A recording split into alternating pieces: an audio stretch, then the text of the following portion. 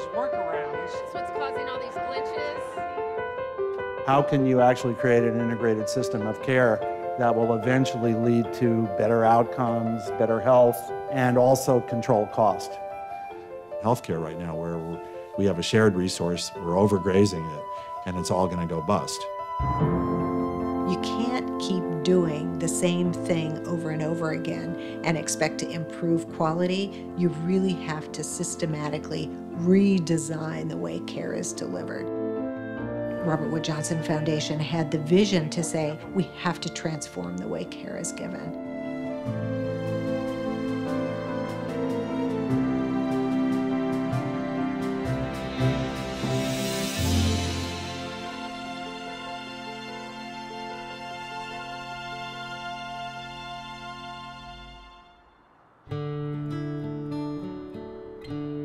Humboldt County is located in very rural Northern California. And we have about 130,000 people. It's a poor community. Economic health and geographic isolation are really challenging combination. The very first stage of aligning forces for quality was to integrate the work of medical providers, the employers, and the consumers. Our community doesn't have a lot of large employers like some other communities in aligning forces for quality. So we've been working with small businesses. We have 320 casino workers here. Native Americans make up probably right around 10% uh, of the population in Humboldt County.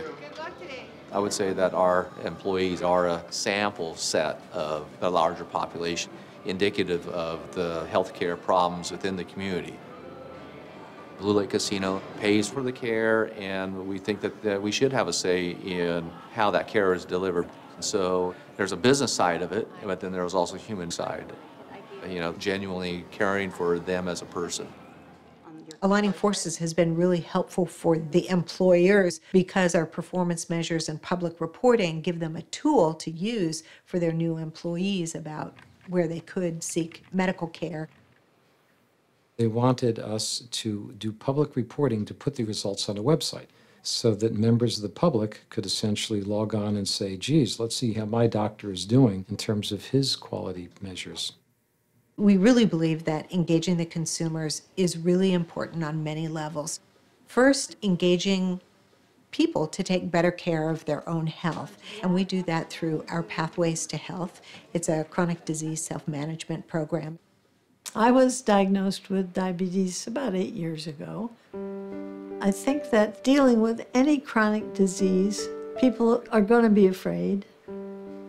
But now I belong to Pathways to Health, a group to help people with their self management.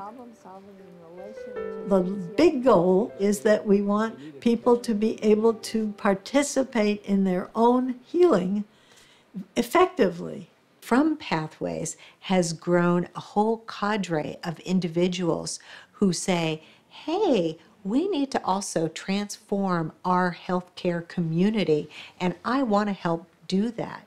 You know, we essentially try to get together and see how we can work better as a team to improve care for our patient population through team-based care. Personnel that work in the various small practices who had jobs such as medical assistant or receptionist began to see themselves as medical professionals. Now, sometimes patients are going to be more likely to be honest with you if they're having some problems with medication side effects or maybe they can't afford the medicines. Maybe there are other reasons. So we have to try to find what the barriers are.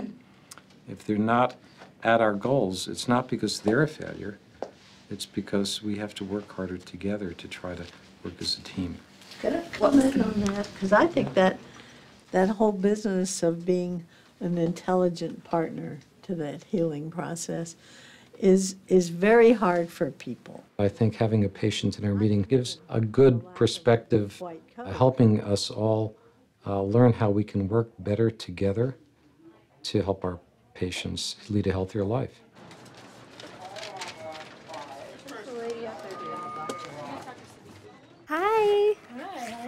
Good, how are you? My name is Arzu. I'm from the Care Transitions program. Care Transitions is another core feature of Aligning Forces for Quality. Senior level nursing students from Humboldt State University provide coaching and empowerment for folks who are about ready to leave the hospital. What Care Transitions does is kind of prepare for a home visit. The goal of the home visit is to go over your medication, your disease processes, and anything that you don't understand about it. The big goal is to uh, prevent you from rehospitalization and following up with your primary. We're now trying to align the incentives so that the employer saves money, the clinicians do the right thing, which is to keep people out of the hospital and emergency room, and then the patients get better care and have better outcomes. We all have these different models to improve the way healthcare is delivered, the way healthcare is received, and the way healthcare is paid for. But now, what we need to do is share that. We need to be mentors to other communities across the nation to help them do the same thing. So, hopefully, in the next 10 years, we can have much more constellations in our uh, Aligning Forces for Quality community.